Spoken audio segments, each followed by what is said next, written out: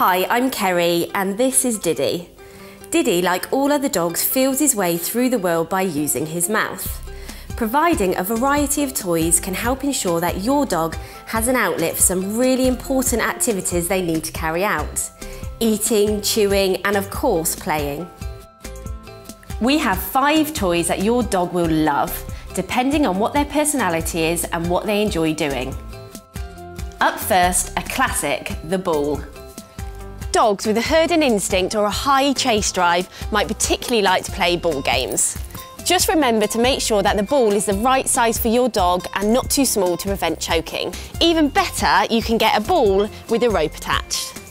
Number two, Kongs. For dogs that are food motivated and in need of mental stimulation, Kongs can be a great source of entertainment. Just stuff some treats in and let your dog snuffle them out.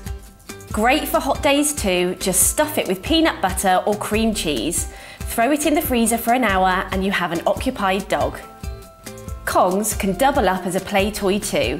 They have an uneven bounce so can be lots of fun to chase. Number three, squeaky toys.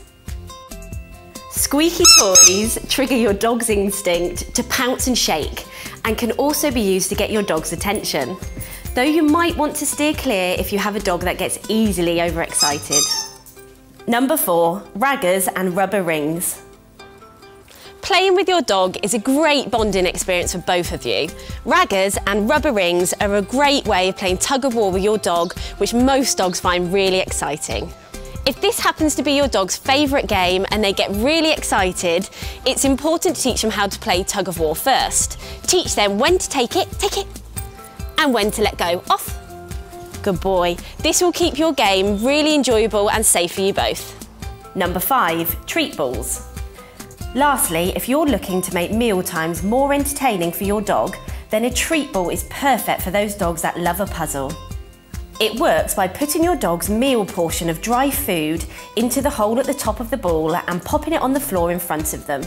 Your dog will use their nose and paws to bat the ball around and are rewarded with bits of food that fall out of the hole in the ball.